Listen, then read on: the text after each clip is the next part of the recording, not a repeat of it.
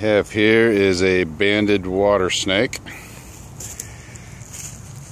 Caught him in somebody's backyard and we're going to let him go now. This snake right here is most often confused with the uh, cottonmouth water moccasin. Similar colors, patterns not exactly the same, but there he goes.